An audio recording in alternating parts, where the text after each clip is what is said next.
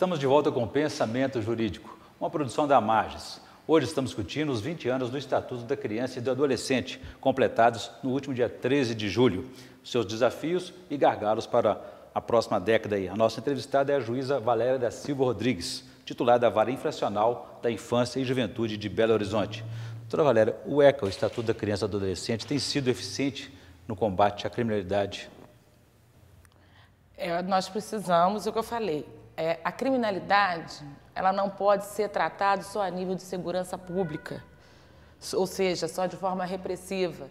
O problema da criminalidade tem que ser tratado de uma forma coletiva, ou seja, com outros setores do governo, educação, saúde, é, lazer. Por quê? Porque não basta só você prender aquela pessoa que praticou um ato errado. Isso eu falo tanto para o adolescente como para o adulto. Nós temos que trabalhar hoje com a prevenção. E a segurança pública não trabalha com a prevenção, ela trabalha com a repressão. Então, precisa haver uma integração entre os demais órgãos, junto com a segurança pública, para nós oferecermos políticas públicas para que esses adolescentes não ingressem na criminalidade. Foi como eu falei anteriormente aqui.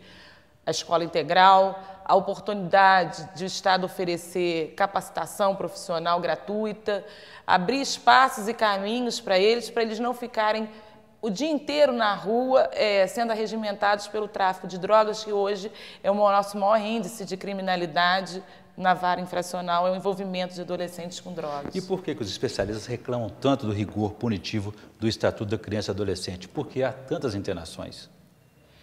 Há tantas internações porque o papel do judiciário já é um papel repressivo. Nós, quando o judiciário é, é atua nessa fase, ele já atua para julgar um ato errado cometido. Se bem que, isso foi uma, tem uma pergunta importante, que hoje o juiz não pode também ser mero agente aplicador da lei. Hoje o juiz tem que ser proativo. O judiciário tem uma função social também junto à sociedade. E como a senhora disse, a internação teria que ser a última alternativa. Então, o que, que por exemplo, o, juiz da infância e juventude deve procurar? como órgão do governo, a, a procurar articular com essas instituições governamentais e não governamentais programas preventivos para que a gente encaminhe esses adolescentes, igual aqui em Belo Horizonte, nós temos mais de cinco projetos feitos em parceria com a sociedade governamental e não com, com, com as instituições governamentais e não governamentais, para encaminhar esses adolescentes. Então, eu acho que o judiciário tem um papel importante como articulador, como agente político, de integrar essas instituições numa ação única na elaboração de políticas públicas. Ele tem que ir além da sentença, né? Agora, essas maneiras diferentes de interpretar o estatuto traz dificuldades no cumprimento? Sim, por exemplo, na, na área de responsabilização, eu acho que os artigos que regulam a responsabilização penal são pequenos, poucos, deveriam ser mais detalhados e aprofundados. E eu não concordo, por exemplo, é uma opinião minha como juíza, existe, existem correntes contrárias, é, o, o, a fixação, por exemplo, do tempo da internação é de seis meses a três anos, independente do crime que o adolescente praticou. Então, isso gera para o adolescente uma banalização do crime. Porque um adolescente que está cumprindo internação por ter praticado reiterados furtos, junto com um adolescente que praticou um homicídio, ele me questiona, ai doutora, eu pratiquei vários furtos e vou cumprir o mesmo tempo do que o que praticou o homicídio. Para eles, há uma banalização então do crime. Então, eu acho que o estatuto tem que ser atualizado, revisto nessa área, que eu acho que o tempo de internação para um crime grave como homicídio não pode ter o mesmo tempo que de um adolescente que não conseguiu dar conta de cumprir a medida em meio aberto, precisou ser internado, mas por um crime menos grave.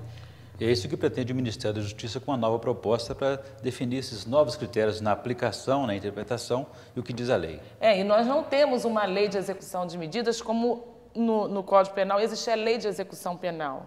Então, é outra coisa que nós estamos aguardando o Congresso é aprovar o nosso o projeto que já está em tramitação há muitos anos é, sobre a, a, lei de execução de medidas socioeducativas. Vou dar um dado aqui que, de acordo com a Secretaria Especial de Direitos Humanos vinculada à Presidência da República, hoje há no país 11.901 adolescentes internados no país.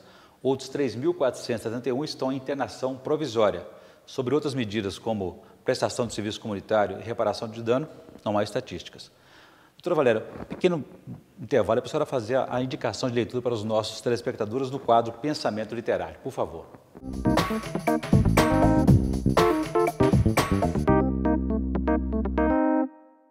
Bom, como eu não estou de férias e como eu não estou de férias e durante é, essa época de trabalho eu não tenho tempo de ler livros não jurídicos, eu acho que são dois livros assim importantíssimos para quem atua na área da infância ter em sua cabeceira. São dois, dois professores, um é, um, é inclusive é um colega nosso, um juiz do Rio Grande do Sul, que para mim tem um domínio muito grande desse assunto. O, também o Wilson Donizete Liberati, que é uma pessoa também conhecida, com vários livros publicados. Então, são livros que eu entendo muito importante para quem atua na área da infância e juventude. Ok, muito obrigado pela indicação. Doutora Valéria, agora também, é, ampliando nosso debate aqui, a questão da pedofilia também, que é um dos assuntos tinentes aí à área da vara infracional da infância e juventude. Nunca se viu falar tanto no país em pedofilia como agora, seja em casa, em, com padres, até nas novelas. Ah, é? Por que essa pedofilia ainda não tem uma legislação, não é tipificada como crime no Brasil? É aquilo que a gente tenta buscar explicações, por exemplo, é porque ainda não, será que ainda não afetou ninguém da classe alta? Porque quando João Hélio foi assassinado, houve uma comoção pública para redução. Aquele garoto lá no Rio de Janeiro é, foi arrastado. Janeiro, lembra quando ele foi arrastado? Houve uma comoção pública para redução da maioridade penal para 16 anos. Então, eu acho que está precisando né, atingir alguns parentes, e geralmente Poderosos. são crimes que, que, que não são tornados públicos porque causa vergonha, causa culpa. Então, eu acho que deveria. Será que nós vamos ter que esperar né? Nós temos a CPI da pedofilia, pelo que eles já apuraram até agora de crimes seríssimos.